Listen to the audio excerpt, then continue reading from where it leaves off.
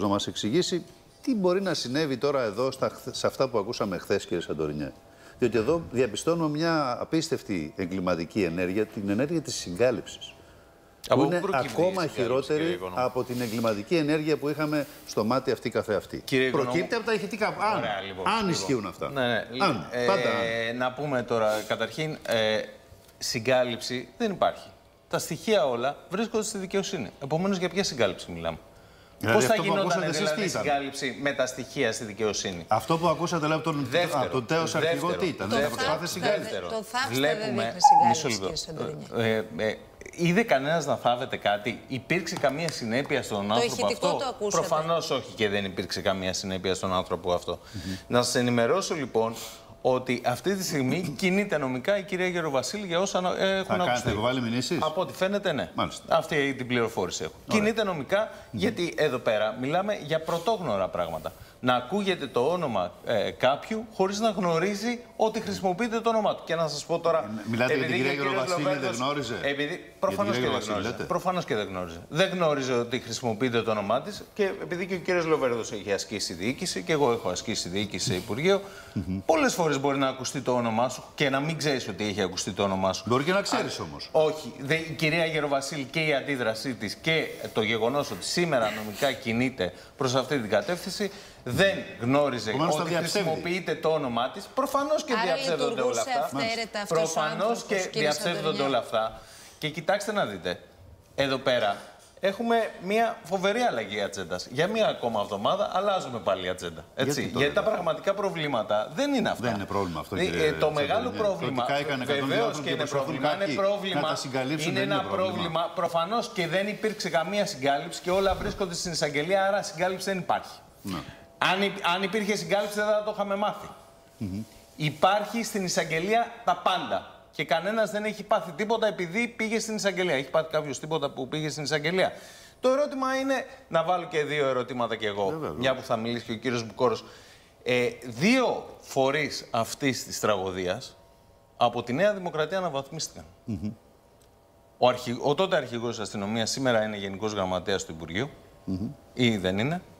Και ο τότε υπεύθυνος τοπικά της πυροσβεστικής το Φεβρουάριο γίνει υποστράτηγος. Τι σημαίνει αυτό, δηλαδή. Ερωτάω λοιπόν, ερωτάω λοιπόν, η Νέα Δημοκρατία που, μας, που μας φώναζε από την πρώτη στιγμή να φύγουν όσοι έπρεπε να φύγουν και φύγαν.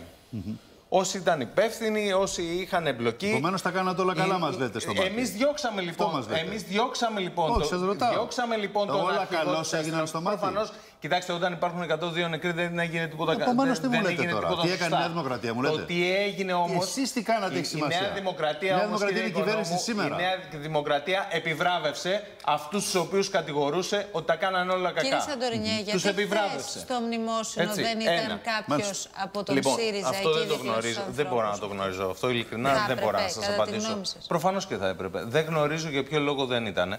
Και δεν, προφανώς δεν είχα κληθεί εγώ για να πάω. Έτσι. Αν είχα κληθεί θα πήγαινα.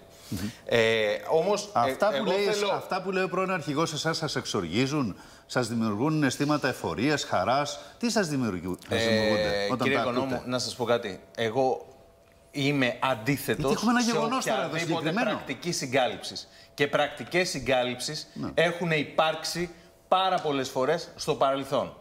Και τις γνωρίζουμε και έχουμε δει πολλές τέτοιες πρακτικές και από προηγούμενες κυβερνήσεις. Μιλάμε για το συγκεκριμένο για τις οποίες όμως δεν αναφερόμαστε. Δεν κάνω, κανένα, δεν κάνω κανένα συμψηφισμό.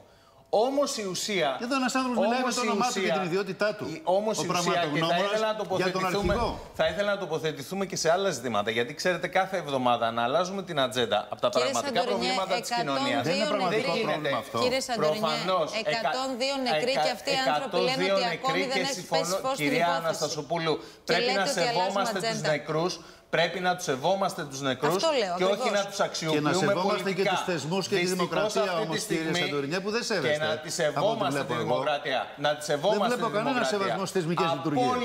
Απόλυτο σεβασμό στη δημοκρατία. Και, τα, και η δημοκρατία έχει και τα ένομα. Δεν είναι αρχηγός αυτός που μιλάει έτσι, κύριε Σαντορινιά. Που βρίζει και έχει ιδεολογεί. Και λέει θα τα σκίσει τα κάντα. Θα σου κάνω καπούλια έτσι αλλιώς. Εγώ για τον αρχηγό. Εσείς τον βάλατε. Εγώ τον Ποιο τον έβαλε τον αρχηγό. Ωραία. Εσεί τον διορίσατε τον αρχηγό εκεί. Δεν πρόκειται να απολογηθούμε για κανένα αρχηγό. Είχε στα χέρια του τι τύχε του ελληνικού λαού στα θέματα αυτά. Για κανένα αρχηγό.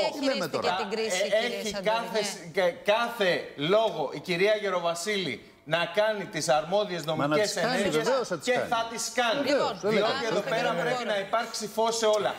Όμως, την ίδια στιγμή. Άρα εσείς τα διαψεύδετε επομένως. Αυτή είναι η ουσία. Που ο κύριος Μητσοτάκης απλά παρακολουθεί το τι συμβαίνει στη Σύνοδο Κορυφής. Την ίδια στιγμή.